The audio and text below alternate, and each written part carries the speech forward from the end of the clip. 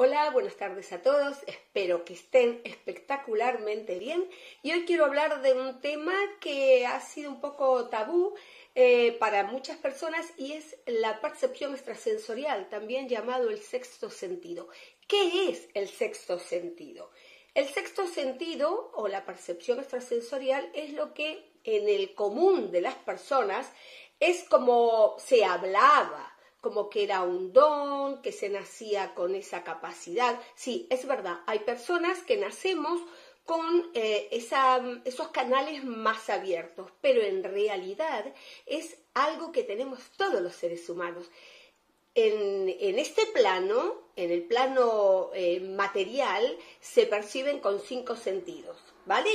Pero el sexto no es... Eh, o sea, en realidad el sexto sentido, lo que se llama el sexto sentido, es percibir no otras realidades, pero también se percibe escuchando, porque el que es medio auditivo lo que hace es escuchar, pero escucha voces, pero no eh, ve a las personas. El clarividente lo que hace es ver, pero ve lo que otras personas no ven.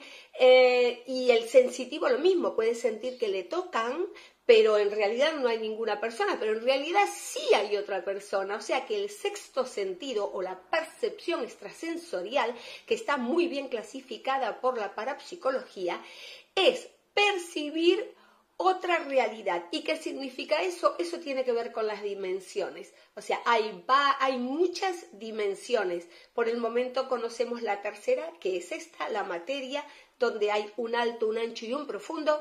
La cuarta dimensión y la quinta con la que hablaré otro día. Pero con lo que quiero que hoy quede claro es que el sexto sentido es percibir otra realidad que existe, que es real, pero que tiene una materia más sutil. Es decir, no es la materia esta que podemos percibir con los cinco sentidos comunes y simples.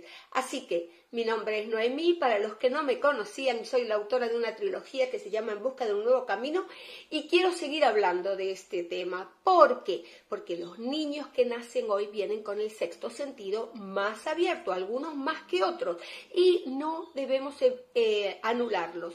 Estamos en un momento de evolución. Solamente en estos días hay que mirar al cielo y más de uno se darán cuenta que no estamos solos. Entonces tenemos que abrir la mente tenemos que abrir la mente porque si no, el miedo los va a apoderar y mm, no van a poder evolucionar. Espero que tengan un día espectacular y no se preocupen demasiado de mirar el, el, cielo, que quienes están ahí nos están ayudando, pero nosotros aquí en la tierra, desde cada uno, desde su lugar, tiene que evolucionar. Yo los pienso ayudar desde todos los conocimientos que adquirí en toda mi vida. Mañana continuamos.